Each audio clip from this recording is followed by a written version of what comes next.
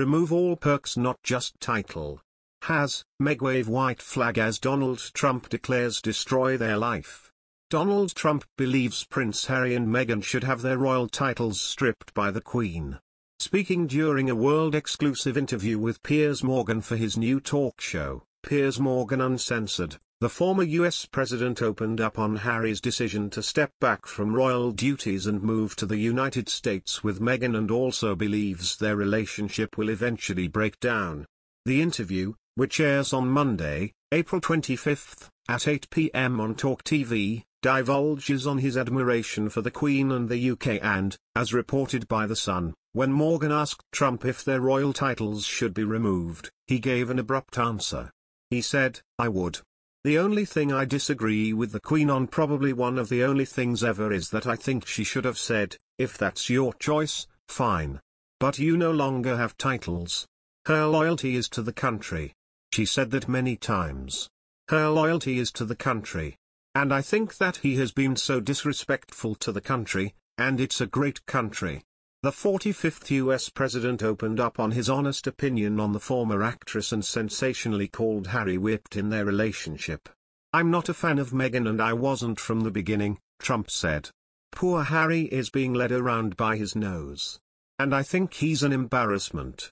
I want to know what's going to happen when Harry decides he's had enough of being bossed around.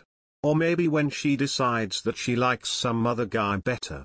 I want to know what's going to happen when it ends, okay. I've been a very good predictor, as you know. I predicted almost everything. It'll end and it'll end bad. And I wonder if Harry's gonna go back on his hands and knees back into the beautiful city of London and say, please. I think Harry has been led down a path. Harry is whipped. I won't use the full expression but Harry is whipped like no person I think I've ever seen. I thought it was terrible when Harry didn't go to the memorial of Prince Philip. Yeah, I think the Harry situation is going to unfold in a much different way. Trump spoke about his encounter with the Queen while in office and revealed that she had a fondness for the 75-year-old former president. I met the Queen. It was supposed to be for 20 minutes. It was supposed to be just a quick meeting. And it was beautiful. The pomp and ceremony, nobody does it like the English I don't know what it is. But nobody does it, he added.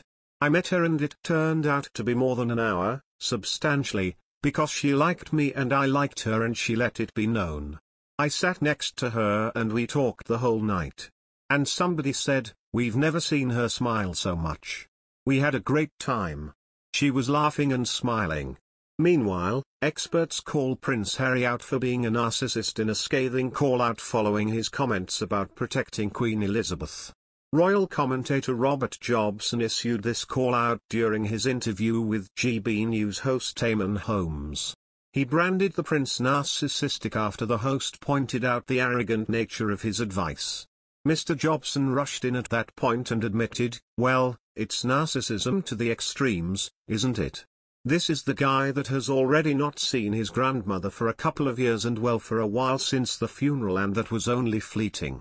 I mean, I think actions speak louder than the words, and Prince Charles, in particular, has been stepping up and supporting his mother with actions and also all of our children people and daughters-in-law like I said Sophie Wessex and Camilla have been pretty much there all the time behind the scenes as has Prince William.